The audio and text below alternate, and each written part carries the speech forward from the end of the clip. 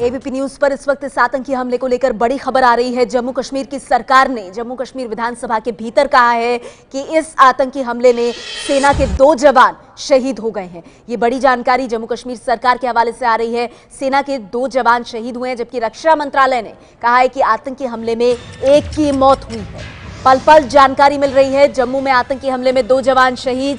जम्मू कश्मीर सरकार के हवाले से ये खबर आ रही है। चार लोग घायल हैं जम्मू कश्मीर सरकार का कहना है। और ऑपरेशन जम्मू में सुजवा मिलिट्री स्टेशन पर चल रहा है। जम्मू में आतंकी हमले में दो जवान शहीद जम्मू कश्मीर सरकार के हवाले से यह खबर। रक्षा मंत्रालय ने अब से थोड़ी देर पहले जानकारी दी थी कि एक की मौत हुई है, छह घायल हैं। अब जम्मू कश्मीर सरकार की तरफ़ से सदन को जो जानकारी दी गई है, जम्मू कश्मीर विधानसभा में जो जानकारी रखी गई है, उसके मुताबिक सेना के दो जवान आतंकियों के इस हमले में शहीद हुए हैं। आतंकी हमले में एक की मौत, ये रक्षा मंत्रालय ने कहा है। और सरकार के हवाले से जो खबर आ रही है, जम्मू कश्मीर सरकार के हवाले से, उसमें दो जवानों के शहीद होने की बात कही जा रही है, चार घायल बताए जा रहे हैं।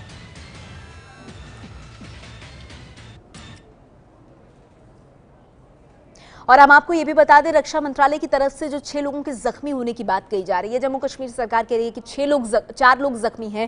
जो जख्मी हुए हैं, उनके बारे में कुछ जानकारी हमें मिल रही है। कर्नल रोहित सोलंकी, ये जख्मी हुए हैं, आतंकियों ने जो हमला किया, आज तड़के चार बजकर पचास मिनट पर। इसके अलावा हवलदार अब्दुल हमीद, ये भी आतंकियों के साथ हमले में जख्मी हुए हैं। लांस नायक बहादुर सिंह भी जख्मी हुए हैं। आतंकियों के इस हमले में। इसके अलावा नेहा, सूबेदार मदन लाल की जो बेटी है, आतंकियों ने उन पर भी हमला किया है। ये जानकारी तो हम आपको लगातार दे ही रहे थे कि वो भी इस हमले में जख्मी हैं, घायल हैं। तो चार जवान हमले में जख्मी हुए हैं और इसके अलावा सूबेदार मदन लाल की जो बेटी हैं, नेहा, वो भी जख्मी हुई हैं। जम्मू कश्मीर सरकार ने जम्मू कश्मीर विधानसभा जो कि चल रही है, उसके भीतर ये बयान दिया है कि सेना के दो जवान शहीद हुए हैं।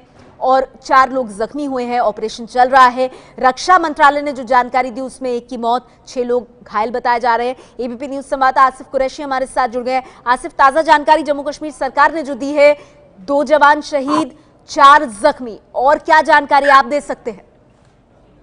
यह देखिए, जो अब से थोड़ी देर पहले अब्दुल रहमान वीरी, जो कि पार्लियामेंट्री अफेयर्स मिनिस्टर है सरकार के, और उन्होंने इस सदन में ये बात रखी कि इस हमले में जो कि चार बज के दस मिनट पे आज सुबह हुआ था, इसमें सूबेदार मदन लाल चौधरी और सूबेदार मोहम्मद अशरफ मीर इसमें मारे गए हैं, जबकि उनके मुताबिक कर्नल रोहित सोलंकी, हवलदार अब्दुल हमीद और लांस नायक बहादुर सिंह और नेहा नाम की जो सूबेदार मदन लाल चौधरी है, उनकी बेटी, वो जख्मी है, उनका उपचार चल रहा है।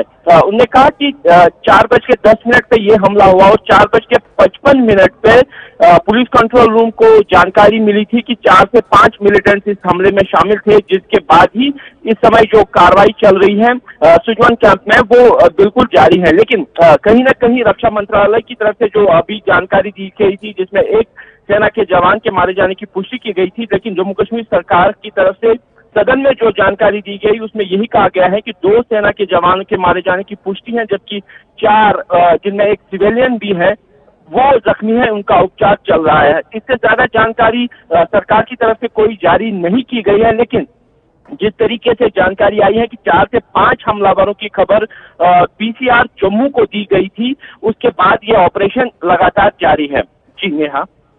तो हमारे संवाददाता आसिफ कुरैशी, हम तक ये अहम जानकारी पहुंचाते हुए जम्मू कश्मीर सदान सरकार ने सदन के भीतर कहा है कि दो जवान शहीद हुए हैं। पहले रक्षा मंत्रालय की तरफ़ से खबर आई थी, एक की मौत की, छह घायल। हालाँकि रक्षा मंत्रालय से जो जानकारी मिली थी, उसमें यह साफ़ नहीं था कि जो एक शख्स जिसकी मौत हुई है, वो सिविलियन है या वो सेना के जवान हैं, लेकिन अब जम्मू कश्मीर सरकार ने जो बात कही है, उसमें दो जवानों की शहादत की खबर आ रही है। चार जख्मी बताए जा रहे हैं और जो चार जख्मी हैं, उसमें सूबेदार की बेटी नेहा भी शामिल हैं।